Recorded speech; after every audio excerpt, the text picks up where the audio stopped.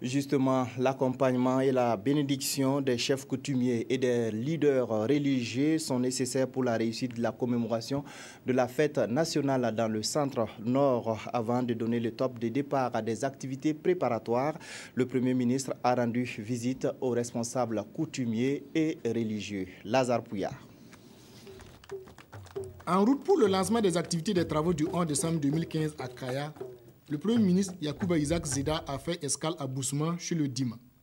C'est une visite de courtoisie et comme il fallait s'y attendre, au centre des échanges, les préparatifs du 11 décembre 2015 et le développement de la région du centre-nord. C'est la deuxième fois que nous recevons un Premier ministre de la République et c'est tout, un honneur pour le royaume et pour Boussma. Nous sommes très contents et nous saluons ces passages. Nous avons échangé sur les affaires de pas du pays, mais de la province. C'est la deuxième visite d'un chef de gouvernement chez le Dima. Et Naba Sonré Dima de Bousma a mis à profit cette visite pour parler de son royaume au Premier ministre et lui remettre un livre sur le royaume de Bousma. Puis, le Premier ministre et sa délégation se sont rendus à Kaya, d'abord chez le chef de canton.